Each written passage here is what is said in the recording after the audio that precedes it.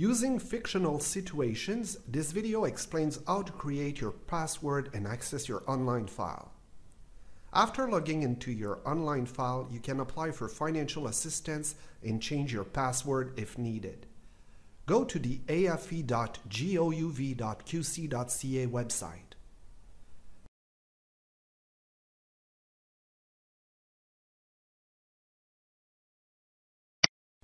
You are now on the Online Services login page. Before continuing, note that throughout the process of creating your file, you can use the Help keys by clicking on the question marks. If this is the first time you use our online services, click on New Registrant.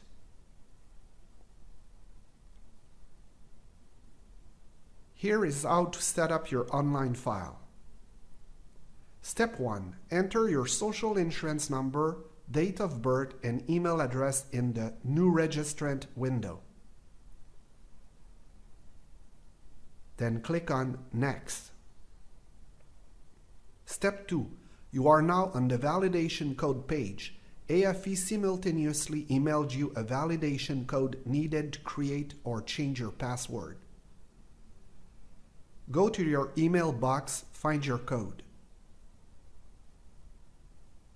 And enter it in the validation code field. Then click on Next.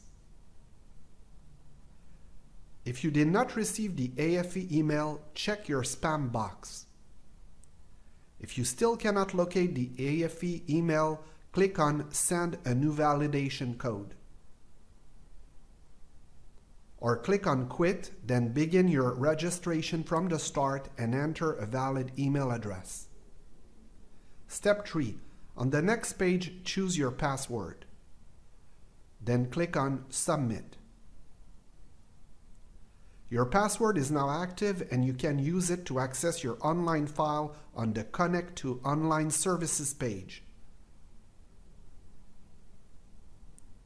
Select your user profile. Now enter your permanent code and password to access your online file. Then click on Submit. For security reasons, you will be asked to confirm your identity the first time you access your online file. Once in your online file, click on the Full-Time Forms tab to fill out your application for financial assistance under the Full-Time Loans and Bursaries program. If you forget your password, click on Have you forgotten your password on the Connect to Online Services page. Confirm your identity using your SIN and date of birth. Click on Next.